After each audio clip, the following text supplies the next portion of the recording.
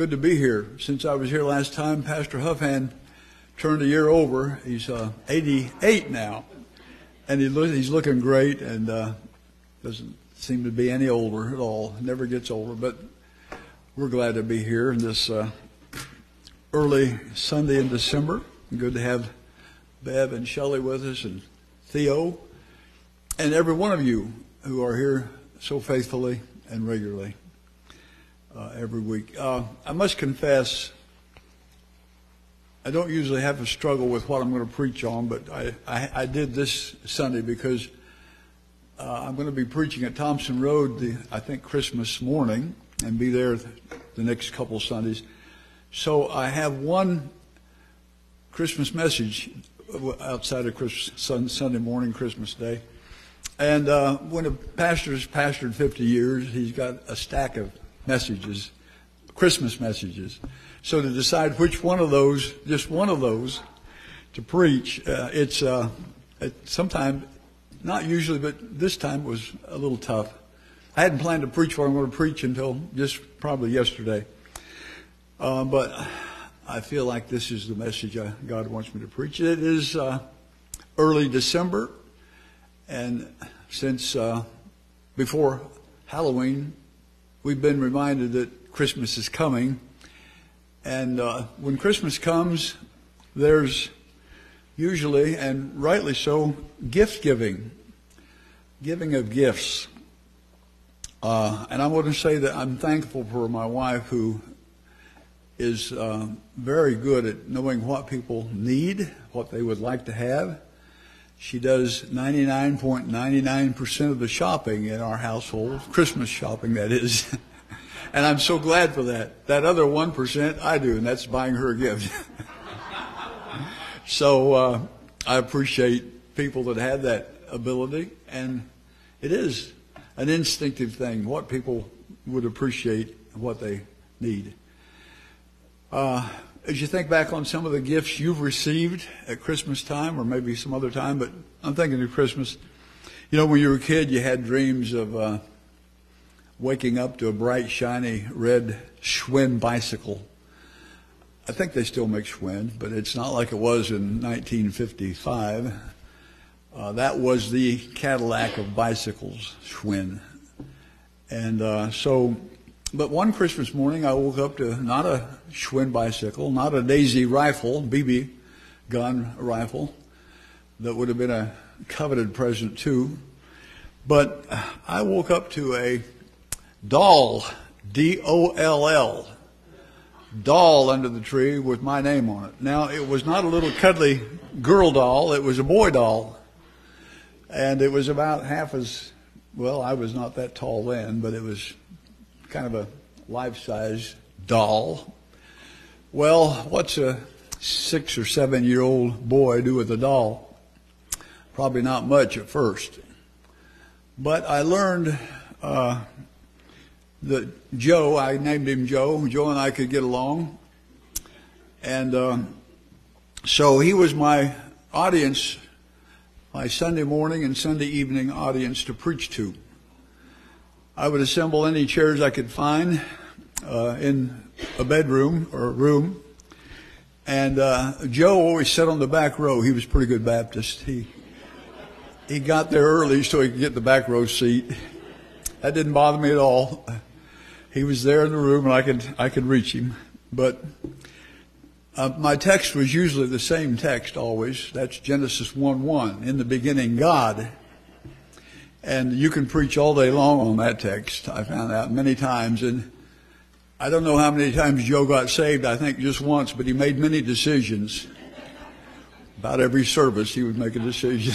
So that's a gift. I'm still talking about it uh, 60, 70 years later. So it, uh, it was a gift.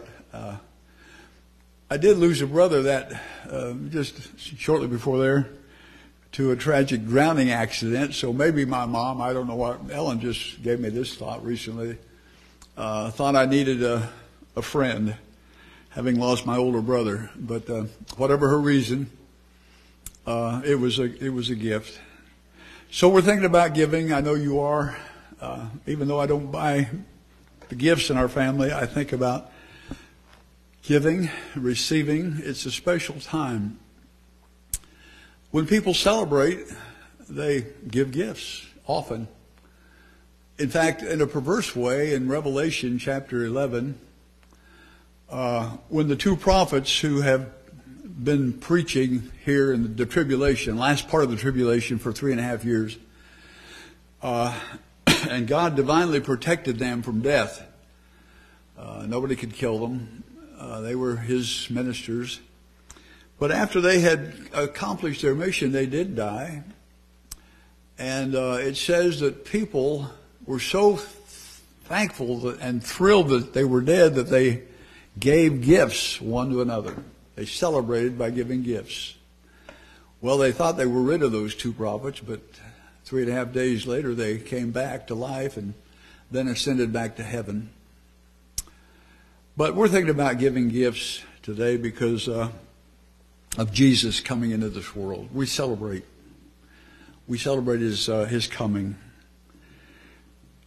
And probably everybody here could quote with me John 3:16 for God so loved the world that he gave he gave somebody said you've heard it said you can give without loving but you cannot love without giving if you love somebody you're going to give you're going to give yourself you're going to give some treasured gift that you treasure if the more you love the more you the more treasured the gift is. In fact, I read one commentator said that verse, for God so loved the world that he gave, could be translated that he gave up.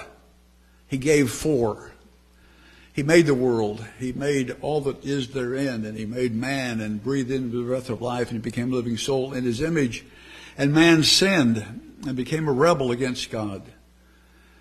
But God so loved the world that he gave up his only begotten Son, his most treasured possession, the Lord Jesus Christ, only begotten. Uh, never was a time when he was not with him eternally. Uh, but he gave him up for the world. Spurgeon said, What was there in the world that made God love it? It was an arid desert of sin. Uh, as you think about mankind before uh, God intervened with a plan of salvation, and He did. But I want to think. I want you to think with me this morning about uh, God giving, and uh, in Romans chapter six, the last verse I think it is, we quote it often when we're talking to somebody about their need for Jesus. And that verse is the wages of sin is death. The wages of sin is death, but the gift of God is eternal life through Jesus Christ our Lord. The wages, I mean, we all have sinned and come short of the glory of God, so we all are under that penalty. The wages of sin is death, separation, eternal separation from God. Not just physical, we're dying physically, but uh, separation from God eternally. The wages is death, Paul said, but the gift of God is eternal life through Jesus Christ our Lord. Now, we often think about eternal life as being life with no termination. Eternal. It's never going to end, and that's true. It's everlasting. Uh, but it's also a, a different kind of life, a life that is uh, in a different sphere, a different dimension, a different depth. In fact, Jesus identif- uh, Jesus uh, defined uh, what eternal life was in that prayer that he prayed to his Father on his way to Calvary. Uh, I want to quote that if I could. John 17. It's uh, what we call the high priestly prayer of Jesus. He said, "This is eternal, and this is eternal life." This is life eternal, that they may know thee, the only true God, and Jesus Christ, whom thou hast sent. This is life eternal, not just everlasting, that's true, but it's more than that. It's uh, life that gives us the opportunity and the privilege and the possibility and probability of knowing God personally. Uh, no other uh, religion, so to speak, could boast that or say that. That, I mean, if you've been to a foreign country, you've seen maybe like Mexico, um, you've seen Pastor Huffman and I were there together years ago, visiting a missionary in the Yucatan Peninsula, uh, Otis Seals. We've supported him and still do from the beginning of time. Uh, but down there in, that was just a, a, an expression. Forever we've supported him.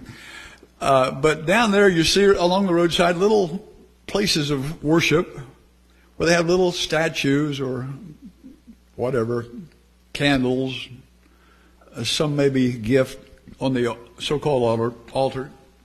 It's sad because uh, those those gods uh, that are made with man's hands, made of stone and wood and whatever else, they're no gods. They're no gods. But Jesus said, the only true God, that they, that they might know thee, the only true God. This is life eternal. This is life eternal. Oh, it's the most prized gift anyone could have. I was thinking of some prize gifts, not just Joe, but uh, all of us have received some special gifts. Uh, when we were in Kansas as pastor, there was a young man, we barely knew him, but he, he made for us a replica out of a kit of the USS Constitution. It was beautiful. I mean, you could sit on the mantle of a fireplace and it, you could be proud of it. Uh, he gave himself to make that. I mean, it took hours and hours and hours, put himself into it, used his skill and his patience and whatever else. It was a wonderful gift. But like a lot of gifts, it got broken. I think in the move out from Kansas to Indiana, it got jostled around and it was such a delicate piece of artwork that it didn't, it didn't survive the trip. You can think of gifts you've had. I think of a gift that uh, I was able to get Ellen one Christmas back in Kansas again when we saw a beautiful lampshade at an antique store, and she loved it. And uh, I was able to buy it for her for Christmas. And somehow it got broken too, as gifts do. Uh, cherished gifts. We have some cherished gifts in our home now. I hope they never get broken, but they probably will. Or when we pass on, somebody will think they're junk and give them away. You know what I mean? But life eternal. It's uh, to know God. that will never that will never change. That will be a gift that keeps on giving, as it were, and will be a precious gift uh, as long as time lasts. This is life eternal. Do you have that gift today? By the way, it's something you don't wait on in order to receive. You can have it today if you've never received it. You can receive it this morning, and this is life eternal. To know Him. He sent his son Jesus Christ so that we could know him, God in flesh, God manifest in the flesh, so that we could know him personally. We can talk to him. We can worship him. We can live, and we do live in his presence.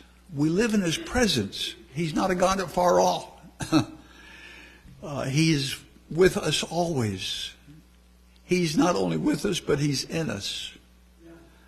Uh, and so it is, a, it is an amazing gift. Jesus said in John 10, 28, I give them, I give unto them eternal life. I give unto them eternal life. Talking about his people that knew his voice and followed him, his sheep. And they shall never perish, he said. Neither shall any man pluck them out of, out of my hand. So, number one, uh, God so loved the world that he gave and he gave us life that is eternal. This, this life that is eternal is irrevocable. He didn't just give us a gift and then come along a little bit later on and say, hey, I would like that gift back. Uh, and if it were up to me to keeping that gift, I would, I would, I would lose it. I would not be worthy of it. I would be disallowed of having it. Eternal life, a personal knowledge of God, living in His presence, talking to Him, having Him hear me and answer my prayers. How could I expect to live in such a way to keep that one day? If it were up to me, I couldn't. But He gives us, by His grace, eternal life. And He's the one that does the keeping. It says in 1 Peter chapter 1 verse 5, we are kept, we are kept by the power of God through faith unto salvation to be revealed in the last day. Well, I'm glad does I'm glad God does the keeping, aren't you, Gerald? He does the keeping. Oh, if it was up to you or me or anybody, we couldn't keep it one single day. We'd have to say, oh well, I, I'm not worthy of that gift. Here here it is. I've, I flubbed up today. I, I didn't do this or that, or I did this or that, and we, we would lose the gift. We would lose the gift. But we never will lose it. Jesus said in John 4:14, "But whosoever shall drink of the water that I shall give him shall never thirst, but the water that I shall give." But did you notice those words? I repeat it twice. I shall give, I shall give shall be in him a well of water springing up into everlasting life. It just keeps on going. It springs up. It's never dry. It's always fresh, new every morning. The water that he gives, he gives. So in the Bible, there's so many uh, affirmations about the fact that God gives. God gives us. Uh, it's uh, it's a life that just will keep on going. It's a gift that keeps on giving. In hope of eternal life, that God, who cannot lie, promised before the world began. Uh, Titus chapter 1, verse 2. In hope of eternal life. Is that your hope today? Uh, I don't know everybody personally. I can't say I believe you're a believer. I believe. No, that's God the judge. But I'm asking you, between you and Him, is that your hope? Do you have that that blessed hope, the hope of eternal life, which God, who cannot lie, He said He would give eternal life. I give unto them eternal life, and they shall never perish. Uh, which God, who cannot lie, promised. And if God promises something, He will produce it. He will bring it to pass. And He drew up the blueprint before the world began. Promise before, okay. Whosoever shall call upon the name of the Lord shall be saved. That was the blueprint. All of us died. We all need to be saved. And so God says, here's my gift to mankind in the person of Jesus. This is life eternal, that they may know thee, the only true God, and Jesus Christ, whom thou hast sent. Here's my gift. Whosoever shall call upon the name of the Lord shall be saved. I did that when I was a child. Uh, and I've never been unsaved since that day. Never been unsaved. Never had to get saved again, even though I've sinned, yes, every day. I've fallen short of God's glory. I have. But I've never had to come and say, oh, I need to get saved again. No, because God said that He would give me, if I called upon His name, eternal life. And I would never perish. That's my hope. In hope, in hope, I have that blessed hope today of eternal life. Whom God, who cannot lie, promised before the world began. Is that your hope today? I hope so. So this, this gift is uh, eternal. It's irrevocable. It's, it's yours forever. It's a blessed hope. It's a certainty hope. It is a gift that is, it defies description.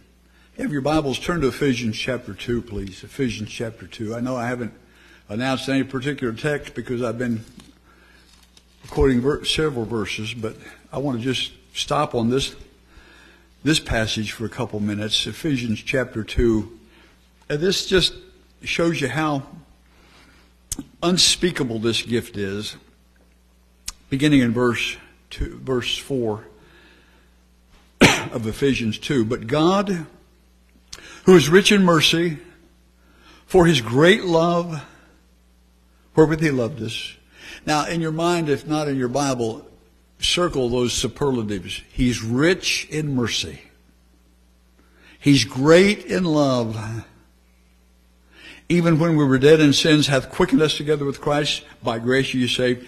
Hath raised us up together and made us sit together in heavenly places in Christ Jesus, that in the ages to come he might show the exceeding riches of his grace. Did you get that? The exceeding riches of his grace. In his kindness toward us through Christ Jesus. For by grace are you saved through faith, and that not of yourselves. If you're there, read it with me. It is the gift of God. It's the gift of God. Nothing you could do to deserve it.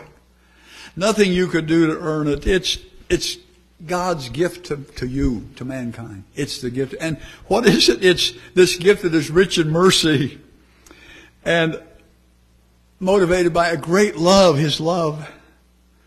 Uh, and it's uh, so that He could show the exceeding riches of His grace through His kindness toward us in Christ Jesus. For by grace are you saved. So it's the gift of God. It's the gift of God. All you got to do is receive it. Now you got you need to believe in your heart by faith that God is and that He's a rewarder of them that diligently seek Him. It's through faith we come to Him. Through faith, through faith we understand that the worlds were framed by Him. But if you can believe those first three or four words of Genesis 1 1, in the beginning God, you can believe anything else in the Bible. And you should believe it. We should. And it's true. It's verifiable. But so I just want to say it's it's a gift that is it defies description. And Paul did the best he could do. Rich in mercy. Uh, exceeding the exceeding riches of his grace. Uh, so he he uses uh, from his store store uh, house of words the best words he could use, the, the most superlative, and says, This is what God has done for us, and it's by grace, and it's a gift, a gift, a gift. All you got to do is reach, receive it. Hope you have today. And by the way, if you have, notice again in verse 6, it's a, it's a gift that is heavenly. He's made us sit together in heavenly places in Christ Jesus. Now, that's in the past tense. Uh, I'm already seated together in heavenly places. That's why he says, set your affection on things above. Your affection needs to be where you are.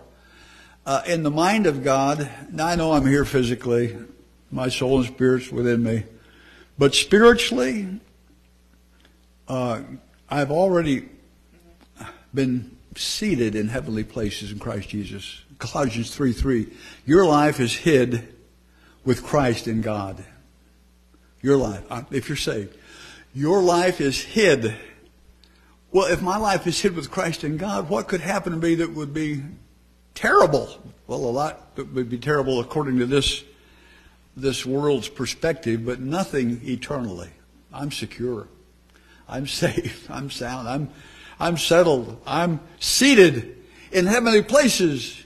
Nothing can change that. Satan can't touch me. Nothing in the world could touch me. I'm there forever. And I shall one day pass from this world to that physically and spiritually. I'll be resurrected someday in my body, new body, glorified body, meeting together with my soul and spirit to be ever with the Lord. But I'm already there in the mind of God. It's already, it's already settled. Oh, what a, what a gift. What a wonderful gift.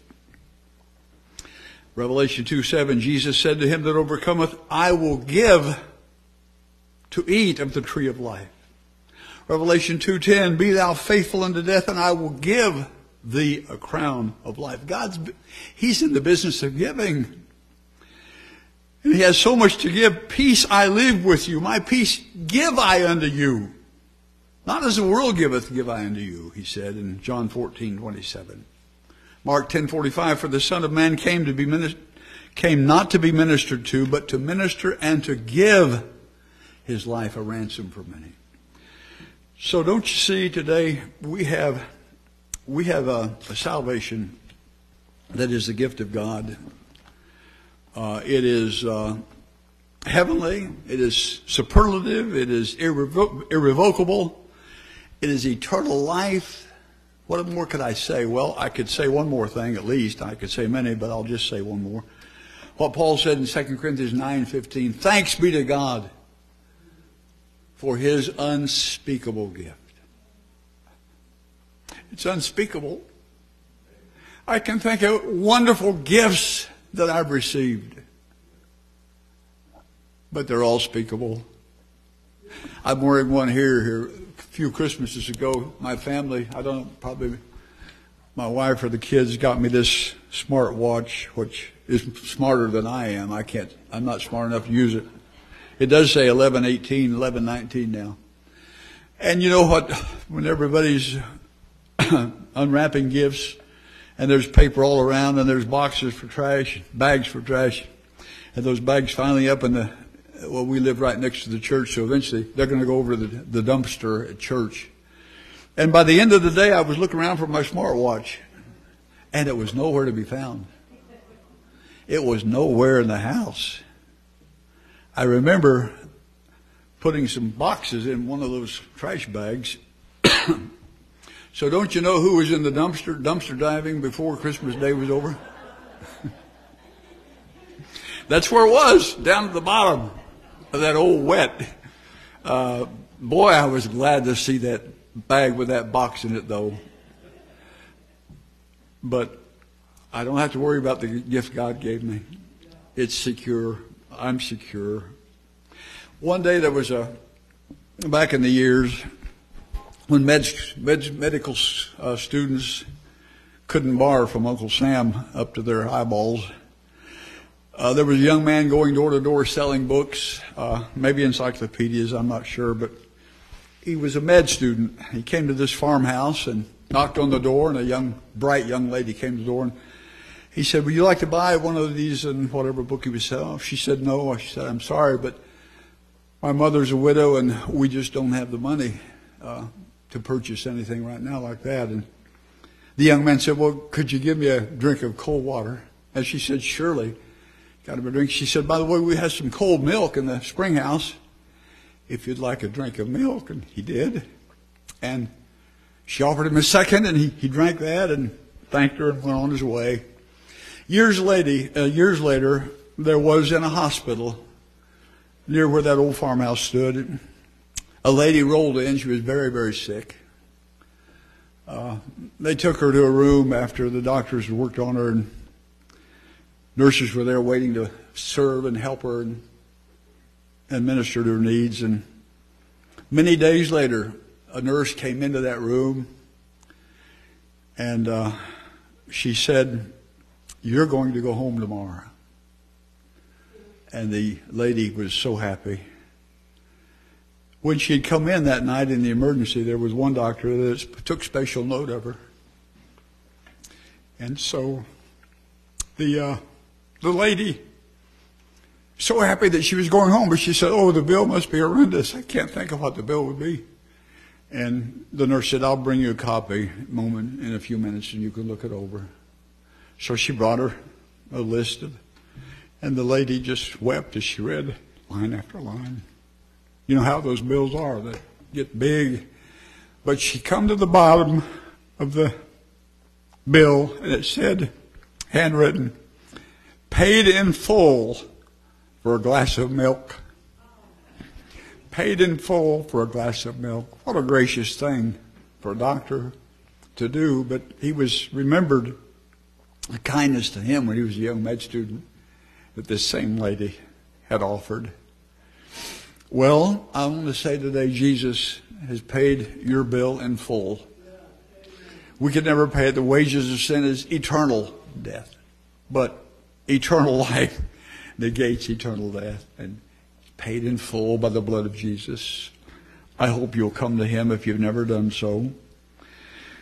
That Christmas day, if you were God and that were your son on the stable sod, wrapped for death with its sin cursed sting. Would you have made the angels sing? They did, didn't they? I don't know who it was, but somebody said angels never sing. They sang that morning, that night. They couldn't do anything but sing. You can read about it in Luke chapter 2. Would you have sent that lovely star to guide the wise men from afar? While weaklings did what haters bid. While weaklings did what haters bid, would you have done that?